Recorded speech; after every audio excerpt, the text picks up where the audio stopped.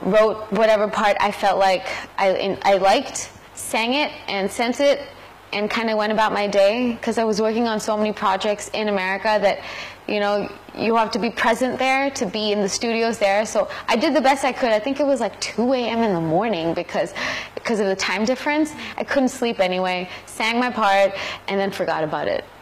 Actually forgot about it. Then I came back to Mumbai and just on a random day, he's like, oh, by the way, um, you know that song, that part you sang? I was like, which part? Because I've sang many parts. That part. I was like, I don't know what you're talking about.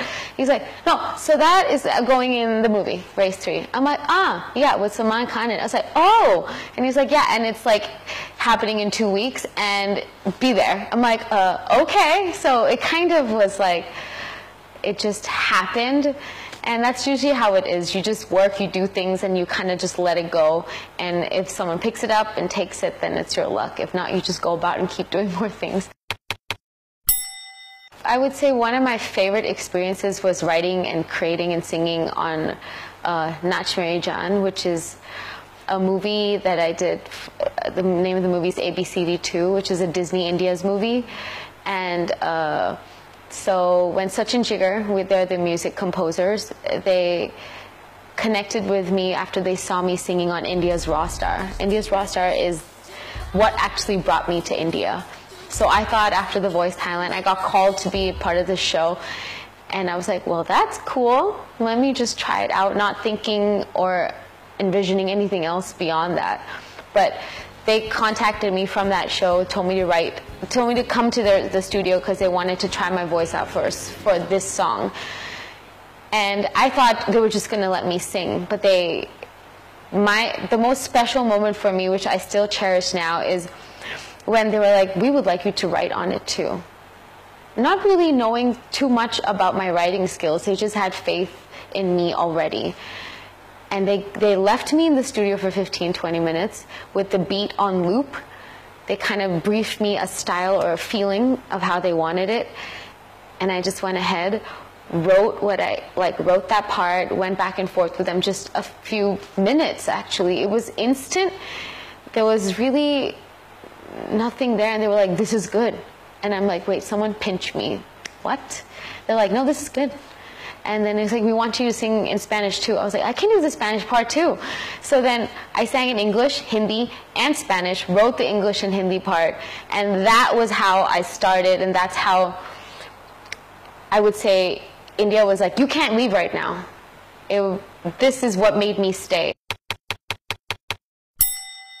Um, my toughest would be trying to break the barrier or the norms of how musicians usually are. Like they just do maybe Bollywood or Indian things like that. I feel like I'm trying to do something different.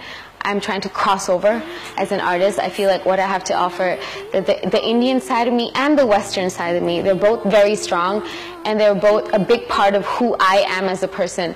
And I want to blend that in a way where it's kind of sounds right or fits properly. Um, currently, I'm working on my first ever international single, which I actually did my, um, during my time in America. So that's the stuff where I'm going to mix some of my elements and the things that I have got from India and, you know, just from growing up, from my experiences and from my background, and put it in that song. So I get to show a whole different side of me, and I'm really, really excited about that actually. Uh, if I like touch one person's life or just like my music or my singing affects even one person to me that I'm successful in that way.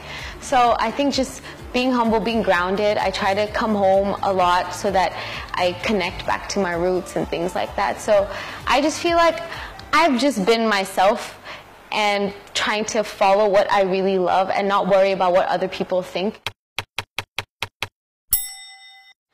ओ ओ नाच मेरी जान नाच सुन ओ ओ ओ नाच मेरी जान नाच मैं हूँ और तू है पूछता क्यों व्हाट टू डू है मस्तिया तो अब शुरू है नाच ले ए ओ ओ ओ नाच मेरी जान नाच सुन euphoria colors everywhere we're in a maze oh I find you Hey guys, I'm Rimi Nique and I'm here on behalf of Masala, here to give you a scoop on what is going on in my life. And that's a wrap, and that's a scoop, and that's, uh, I'm good, bye.